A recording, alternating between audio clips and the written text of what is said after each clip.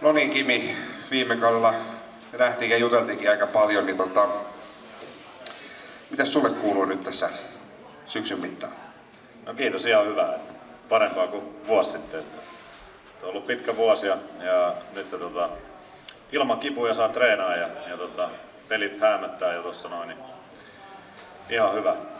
No miltä se on nyt tuntunut palata tuonne jäälle ja se on kuitenkin varmaan ollut aika raskas prosessi, niin varmasti niin kuin mieli on kuin pikkupojalla, kun pääsee ensimmäistä kertaa taas jäälle. No on joo, että, että tota, oli aikoja, kun ei edes tiennyt, että, että pystyykö pelaamaan ja ylipäätänsä eläminen oli vaikeaa, liikkuminen ja muuta, että oli niin paljon kipuja ja muuta, että, että terveenä ja terveyttä osaa arvostaa aika paljon nyt, että, että tota, nyt kun on ollut tuolla mukana näiden jätkien kanssa ja päässyt tuohon joukkueen mukaan, niin, niin tota, voi kysyä muutamalta jätkältä, niin onko fiilis on kuin pikkupojalla, että pikku jäyniä on tehty ja välillä syytetään, syyttömi, syyttömiäkin juttuja on tullut, niin tota, mutta se kuuluu asiaan, että, että tota, kiva on ollut ja, ja, ja toivottavasti tässä tarkoitus olisi, että kuukauden sisään niin olisi tuolla peleillä.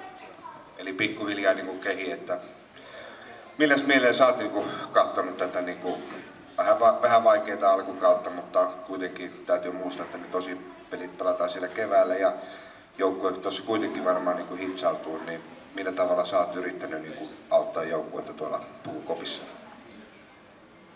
No, tietenkin kun on ollut loukkaantunut, niin on vähän ulkopuolinen aina välillä, niin, niin tota, sitten kun nyt kun on päässyt enemmän mukaan, niin yrittää jätkiä sitten vähän jutella ja tukea. Ja jos jotain omia kokemuksia on ollut, mitä pystyy jakamaan ja auttaa, niin yrittää niitä antaa eteenpäin. Ja, ja tota, mutta meillä on hyvä jengi, jengi on vähän muuttunut ja, ja aikaa, aikaa menee hetki, että, että tota, joku ja kaikki asiat hitsautuu tietenkin yhteen ja, ja tota, vaikeita aikoja se kuuluu tähän urheiluun, että, että tota,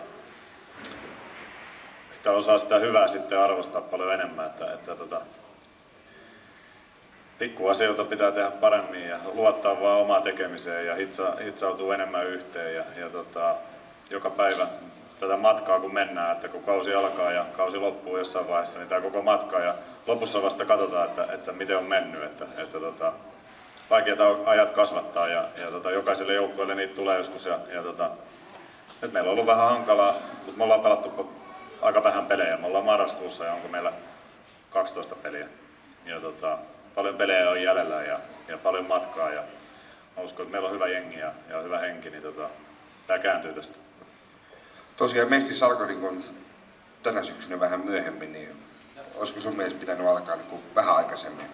Ei, tähän sopii oikein hyvin mulle, että, että tota, ei, ole, ei ole niin paljon pelejä sitten menetä tuossa, kun ei päässyt mukaan. Mutta mun mielestä se on ihan hyvä, että alkaa myöhemmin. Mä oon aina ollut sitä, sillä kannalla, että, että ylipäätänsä ihmiset on kesälomilla ja, ja muulla, että saadaan enemmän, enemmän porukkaa jokaiseen halliin, niin, niin, niin tota, että kausi alkaa vähän myöhemmin ja, ja pelataan sitten pitkälle kevääseen toivottavasti.